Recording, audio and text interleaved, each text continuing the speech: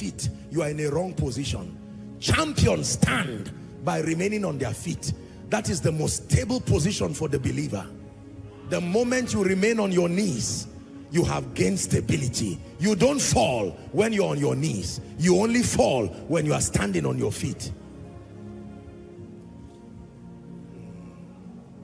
Self-examination. Now we get to the last and the final key. This wraps up my assignment. Prophetic intervention. The final key. Oh, Jesus. The final key to administering deliverance bringing men who have found themselves in all kinds of calamities spiritual calamities ministerial calamities marital calamities health calamities please hear me I speak as one sent by God the secret to coming out of calamities is that beyond the prayer you pray for yourself give us Philippians chapter 1 the scripture Philippians chapter 1 and verse 19. Someone will have to pray for you. This shall turn to my salvation, not through my prayers, through your prayers. Even if you are a midwife, the day you want to deliver, you must submit to another midwife. You must submit to another person. Saying you are a pregnant consultant does not give you the grace to deliver with respect to delivery, you are a patient. You have to lie down and allow probably someone who was once your student in the university to midwife that delivery. Are we together now? Yes. The prophetic is a mysterious spiritual force that is responsible for putting a full stop. I have watched with shock and wonder how prophetic declarations with understanding can bring men out of the tragic situations. Tragic situations. One of the greatest blessings in my life, every time I have the opportunity to meet our fathers, I look forward to when they speak over my life. No. A discussion that does not concern me is not my business. I'm a young man, I'm a son relative to them, both in the spirit, in experience, and in ministry. I would not be foolish to invite myself to conversations that are beyond my level. I await with humility and patience from the residue of their covenant with God, blood dripping on the altar, even if it's five minutes. My please, please, would you place your hand and say something to my destiny? And sometimes with childlike simplicity, they bless. They bless. Hmm. Years ago, I was in a particular nation and I got to hear that one of our fathers of faith was there. And I called and said, please, I have to go and greet daddy. I have to go and greet mommy. I finished from a powerful crusade. But I said, that is a man of God. He has finished. I quickly did the needful and found my way there. I had the opportunity. I went there. We exchanged pleasantries, joked and played. But I knew that, you see, the less is blessed of the greater from a powerful crusade.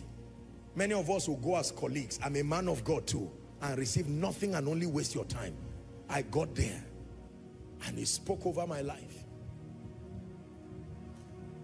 Next level, next level, next level. This is a system God created. It's not a system he found. He created it by himself. When there was darkness, Genesis chapter 1 verse 2, the first thing that began the process of recreation was a prophetic word. Let there be light. Light be. Hallelujah. When you find yourself in a hole, ladies and gentlemen, beyond your personal prayer, beyond your personal altar, God designs systems within the kingdom that it would take orders coming in on the strength of the prophetic advantage and their covenant with God to bring you out of it. Hallelujah. Praise the name of the Lord. The prophetic. Prophetic intervention is one of the mysterious ways that God brings men out. Isaiah 42 and verse 22. I want to speak to your life now. I'm telling you, I already sense a very strong anointing. But this is a people robbed and spoiled. They are all of them snared in holes and they are hid in prison houses. They are for a prey and none delivereth, for a spoil and none sayeth restore. Restore. Restore. There must be a prophetic voice. Alas, master, I hope you know the young boys were also prophets in training. They were already being built to be prophets.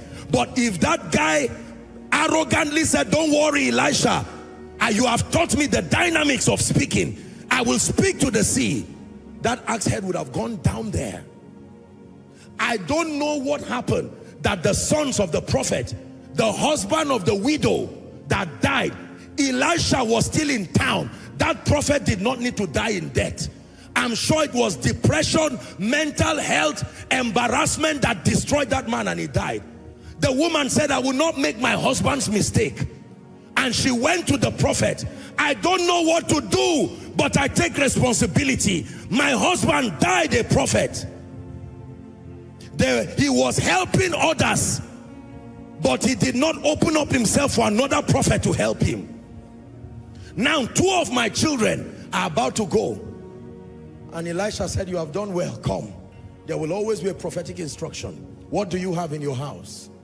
Nothing except a cruse of oil. He said, that's enough. Since you have honored the prophetic, go back. That same house, that same vessel, borrow vessels. Do you know I believe that her ability to even get the vessels was part of the prophetic advantage. If she had gone to look for vessels, she would not find it because no one was willing to help her.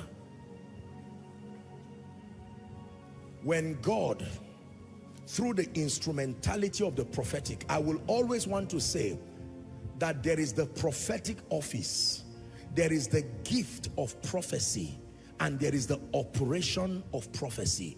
There are three different things. There are people called into the office of a prophet who are not yet matured enough by training, by grace, and by release to prophesy. Just because you are called into the office of a prophet does not give you the credence to start speaking over men and nations. No. There is the gift of prophecy that can come on any believer and you perform prophetic tasks. Are we together? But you may not be a prophet. You are just a healthy believer who, have, who has opened up your spirit. Then there is the operation of the prophetic, which is a product of a sound understanding of scripture. Because the Bible has a prophetic character. And when you hide the word in your heart, it makes you prophetic. So you don't have to be a prophet. But based on the authority of scripture, you can engage it with understanding. The greatest way to manifest the prophetic is to have scripture resident within your heart and then the engracing of the spirit that enables you to manifest the prophetic. I have watched the lives of people. I wish you had time, honestly, to have watched the testimonies from our workers retreat just over the weekend in the United Kingdom phenomenal testimonies phenomenal testimonies the testimonies we share here in koinonia with with every sense of humility believe me they are not up to 120th the testimonies being registered we have to work with time the prophetic I've had people speak over my life and even as a man of God with a bit of an experience in the things of the spirit, I have marveled and wondered at the way things have shifted in my life. Hallelujah. When it was time for a global expansion, I shared it with one of our fathers and he prayed and he said in the name of Jesus that may the Lord bring ease and bring expansion and that your voice be heard and known everywhere. You receive it by faith and that is it. For someone here, God brought you to church because if God does not help you prophetically, the trouble that is on you now, the shame that will come on your life will be a memorial and God wants to step in quickly. Prophetic. Oh.